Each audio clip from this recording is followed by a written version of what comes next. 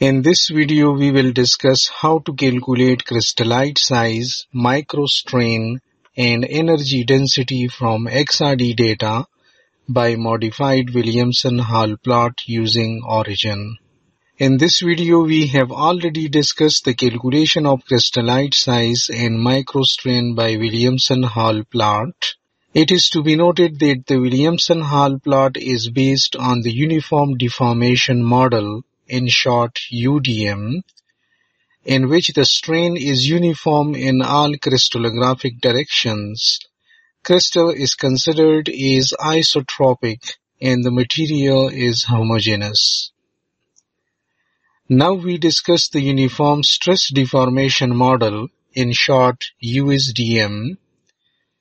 The assumption of homogeneity and isotropy may not be fulfilled always, so the WH equation needs to be modified by an anisotropic strain epsilon. Although the lattice deformation stress is assumed to be uniform in all crystallographic directions, however, a significantly small microstrain exists in the lattice, which leads to the linear proportionality between the stress and strain, that is, sigma equals epsilon y which implies epsilon equals sigma over y. Sigma is the stress, y is the Young modulus, and epsilon is the anisotropic strain. The Williamson-Hall equation is thus modified as this. We will consider the example of hexagonal ZnO nanoparticles, for which the Young modulus is given by this equation. Here A and C are the lattice parameters and Sij are the elastic compliances in meter square per Newton, whose values have been taken as this from this reference. Therefore, in the uniform stress deformation model, we plot 4 sine theta over y on the x-axis and as usual beta cos theta on the y-axis. From the slope we will be able to get the values of stress and from the intercept the value of crystallite size. In the USDM model, we considered a linear proportionality between the stress strain as sigma equal epsilon y. However, this proportionality no longer remains linear when a strain energy density UED is considered. This strain energy density is related to the strain as UED equals epsilon square y over 2. So epsilon is equal to 2 UED over y square root.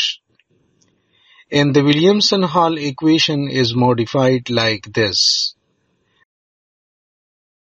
Therefore, in the uniform deformation energy density model, we plot 4 sine theta over 2 over y square root on the x-axis and as usual beta cos theta on the y-axis.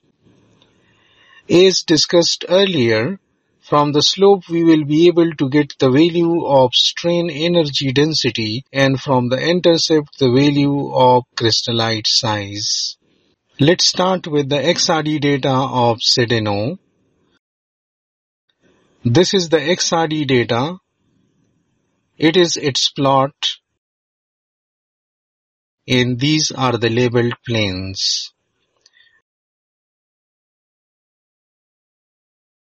From this data we need to find the location two theta and FWHM of each peak. To fit the peaks, let's go to the analysis peaks in baseline, multiple peaks and open the dialog.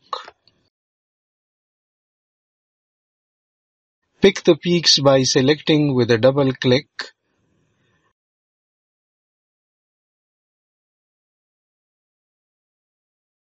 Open the nonlinear fit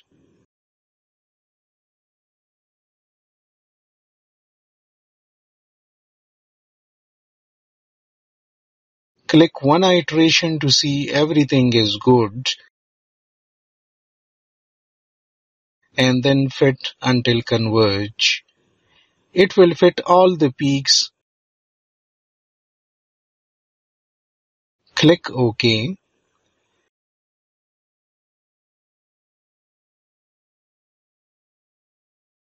Now go to the data under the nonlinear fit peak 1 Under the summary tab these are the two theta and FWHM values. Let us copy these and the HKL values. Go to the Excel template where the crystallite size, microstrain and energy density can be calculated for UDM, USDM and UDEDM models.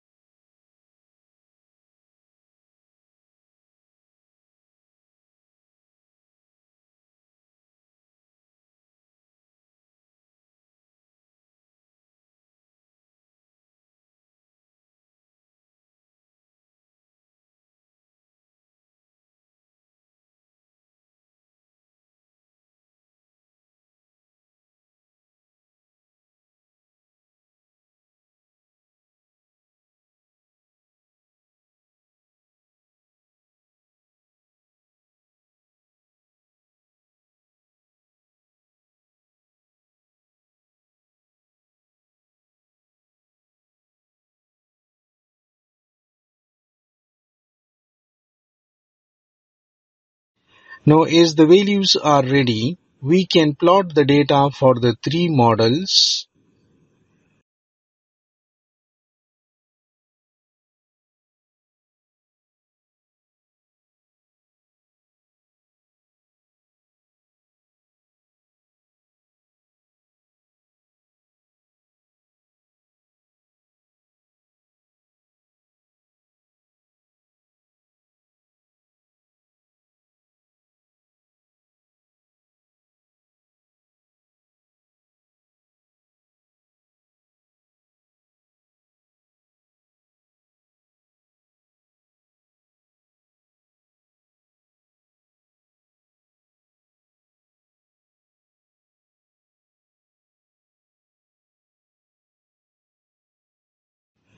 As some of the points are very wide, we can mask the far points to get a reasonable fit.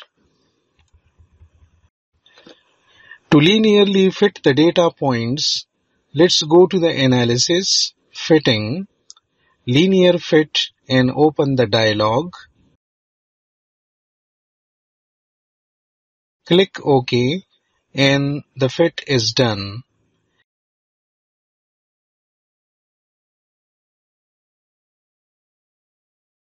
Here we will copy the intercept and slope values to the Excel template. Similarly, following the same steps, we can calculate for the USDM and UDEDM models.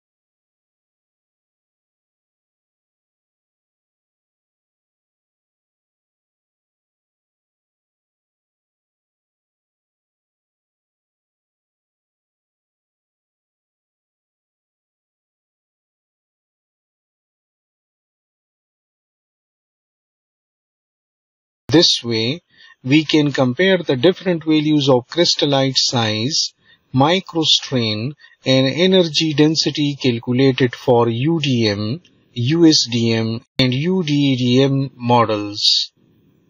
Thank you for watching the video.